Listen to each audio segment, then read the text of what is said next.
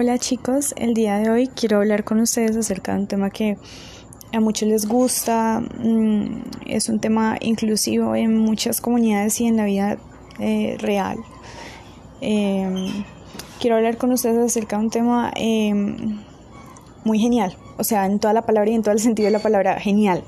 Em, yo sé que a ustedes les encantará, eh, la idea es que eh, haya más inclusión tanto como por parte de los hombres como de las mujeres en este tema.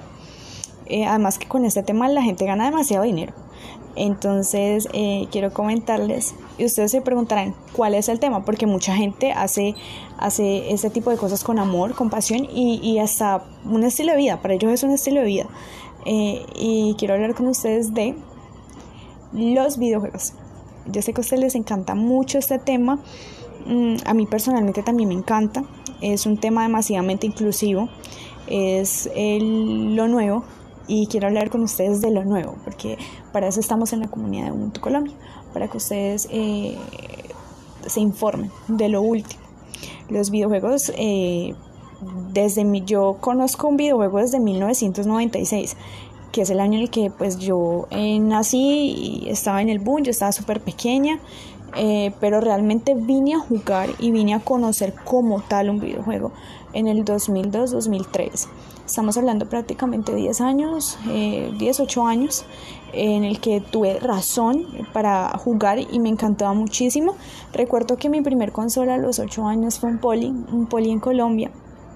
Para los que no saben, es un juego que tiene, eh, es una una consola que tiene juegos, pero es la consola china y tiene muchos juegos eh, como Mario Bros. Eh, bueno, demasiados juegos, Circus, todos esos juegos que, que es de la infancia de muchos ahora en día. Y recuerdo que desde ese momento lo conocí, a mí me encantaba el poli y recuerdo que, que marcó un antes y un después en mi vida, tanto como el Game Boy, eh, que fue la segunda consola que tuve me encantaba jugar al Game Boy. Yo tuve un Game Boy, Game Boy Color moradito, me encanta. Ojalá todavía los vendieran. Eh, no sé si todavía los siguen vendiendo, pero si los siguen vendiendo, o sea, fan número uno, lo compro. Me encanta. O sea, es mi infancia y marcó un antes y un después en mi vida, como no se lo imaginan.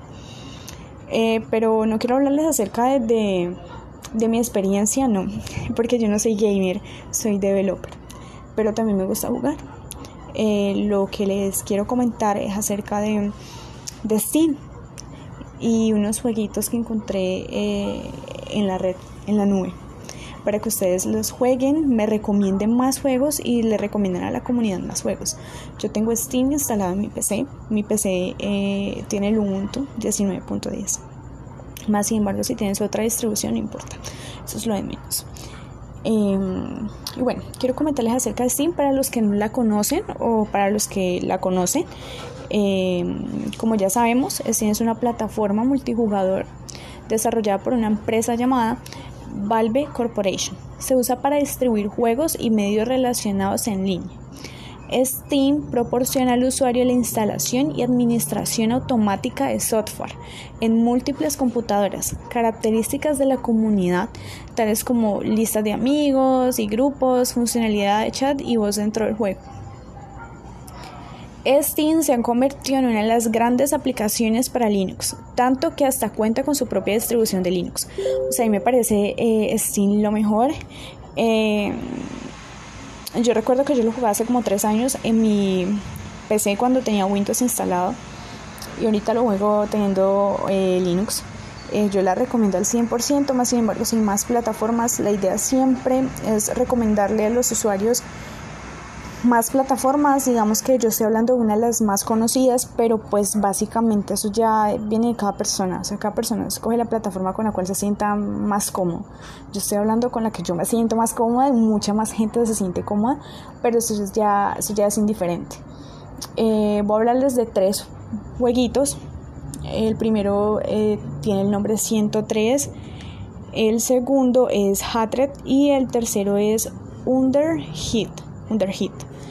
Em, perdón, Undead Horde. Em, es 103 Hatred y Under Horde. 103 eh, Eh, es un jueguito en la, en la tienda de, de Steam nos comenta la descripción de ese juego, que es una chica que se llama Lily. Eh, ella nunca ha sido como las demás personas. Desde que era una niña, su imaginación salvaje y su fuerte memoria le han dado el talento para crear su propia casa. Un lugar en su mente, lejos de los peligros del mundo para mantener seguros sus sueños y recuerdos. Pero durante una noche con sus amigos algo sucedió algo terrible y ahora su vida ha cambiado para siempre. Ayuda a Lily a usar su imaginación para desbloquear sus recuerdos y revivir los eventos de esa noche.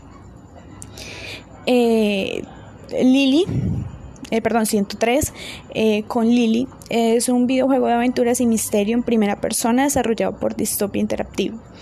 los requisitos del sistema es que está en los tres sistemas operativos. Está en Windows, en MacOS, en OS y en Linux. y bueno, a mí me gusta mucho este tipo de juegos porque me siento como, no sé, siento que realmente me siento como identificada con ese juego. Por eso lo nombré. Eh, me gusta mucho, es un buen juego. Espero ustedes eh, cuando lo jueguen me recomienden si les gustó o no. Y bueno, para eso estamos. Tenemos a Hatred, que eh, Hatred es un juego shooter. Y yo creo que ustedes conocen mucho los juegos shooter.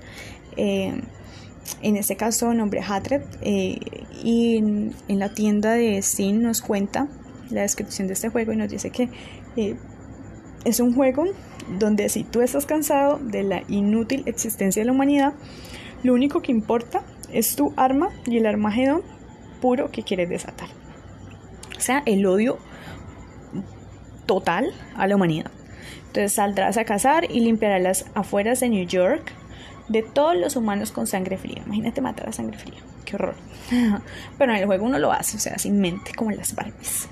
Disparas, lastimarás, matarás y morirás. No hay reglas, no hay compasión, no hay piedad, no tiene sentido volver. Ahora eres el señor de la vida y la muerte.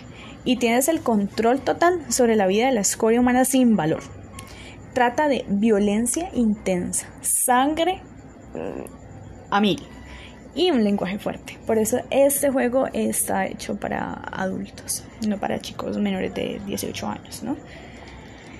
Mm, y los requisitos del sistema se encuentran en los tres sistemas operativos eh, Windows, MacOS, OS y Linux. Em,